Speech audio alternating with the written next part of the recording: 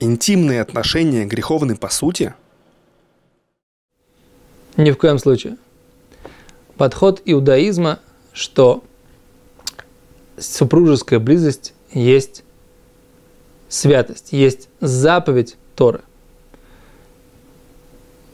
Действительно, существует ряд ограничений, существует ряд условий. Супруги должны быть в браке, да? Э, они должны быть любить друг друга, должны быть в состоянии духовной и физической чистоты. Но после выполнения всех этих условий это не грех. Доказательством того, что это не греховно, э, можно привести такое, такой факт.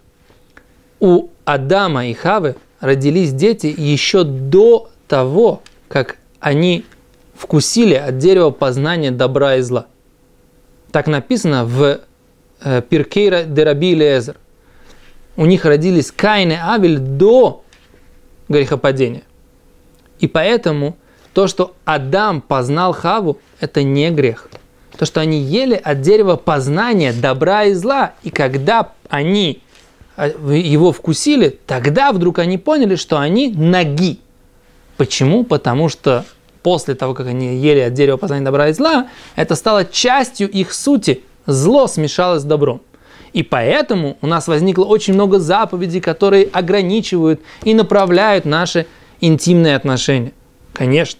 Но, по сути, Адам соединился с Хавой, совершенно выполняя заповедь Всевышнего, плодитесь и размножайтесь. И это то, что делает любой человек в браке, выполняет заповедь Всевышнего. И не только плодиться и размножаться, но и удовлетворение физических потребностей э, жены или мужа, это тоже является заповедью.